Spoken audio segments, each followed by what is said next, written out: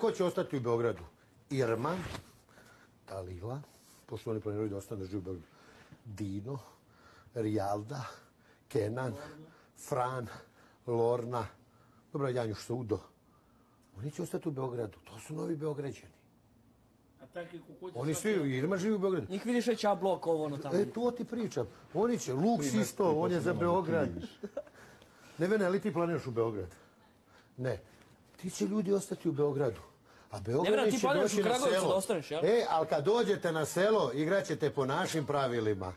Ne po vašim beogradskim. Vi ste vaš grad imali i Ja mogu, izgubili ili u neko špansko selo da odem ili tako Vidi, neko selo. Ali da Vidi, odem druže. e, u selo... Vidi, druže, vi ste izgubili vaš grad. Vaš grad su preuzeli Irme i ostali.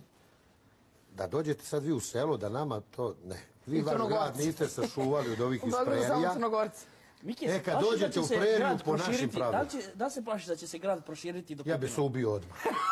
ja bi se odmah ubio.